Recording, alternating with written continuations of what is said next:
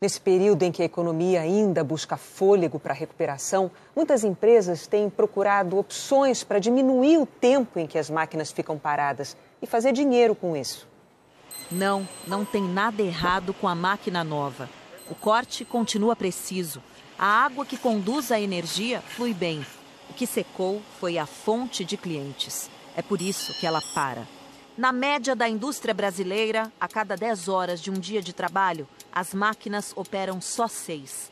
Nas outras quatro, elas ficam ociosas.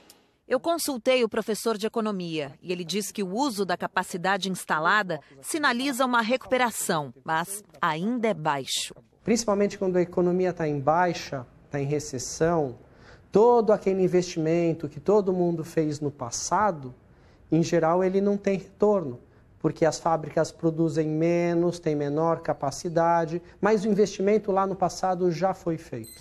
A gente olha e vê uma máquina desligada. Um economista olha e enxerga prejuízo. Para ele, a conta é simples.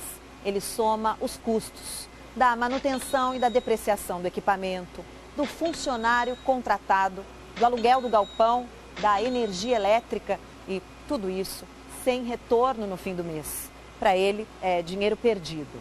Mas já tem empresário experimentando dividir esse custo com a concorrência.